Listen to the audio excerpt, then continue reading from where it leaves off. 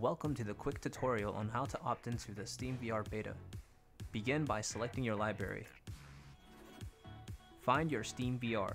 Note, if you have your tool option unchecked, SteamVR will not appear, so be sure to have this option checked. To find it easier, you can even uncheck the others. Or you can simply type in SteamVR here.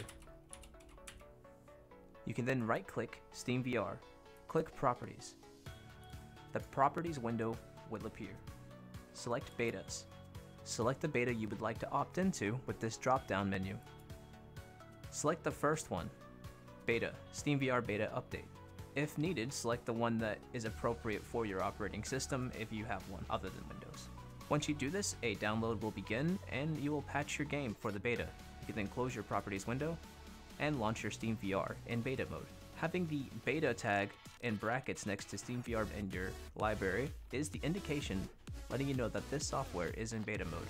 While you have SteamVR selected in your library, you can see all the patch notes listed for the beta update. Be sure to check on this periodically to see what changes have been made. If you encounter some sort of error that you believe is caused by the beta, be sure to head to the discussions tab, click on bug reports,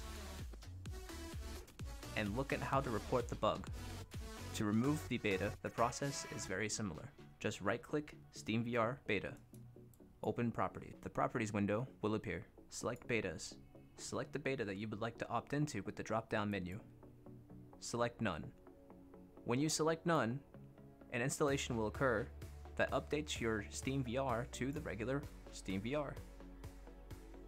Please be sure to subscribe and like this video if it helped you, and check out my other content which is VR chat based, and be sure to check out my Discord if you need any help with anything regarding SteamVR or software handling.